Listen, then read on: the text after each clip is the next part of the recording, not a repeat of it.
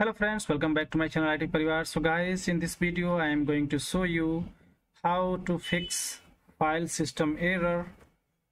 I'm talking about this error. If you are getting this error during opening any um, JPEG file or photos okay or picture.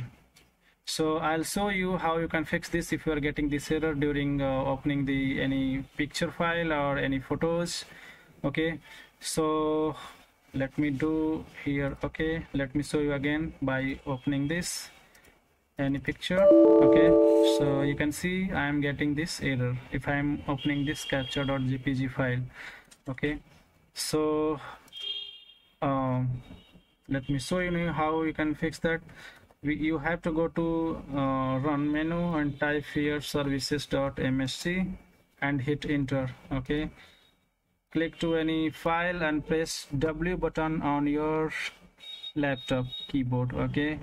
So once you'll press W all uh, services which is start from the W will be visible here. You have to find out here one service that is Windows License Manager service okay? Windows License Manager service.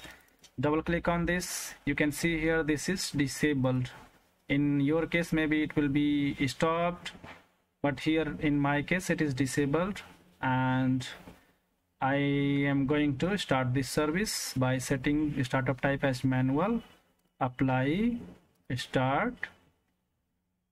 You can see here it is started. I am going to say okay now I'm going to close and then again I am going to open this for photo yes I think it is opened now. Yes you can see this photo has been opened now. Let me try to open this photo. Yeah. So guys in this way you can fix uh, your file system error if you are getting uh, during opening the any picture file or any photos.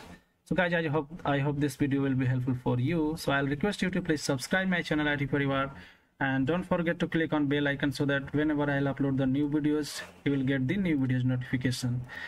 Thank you. Bye bye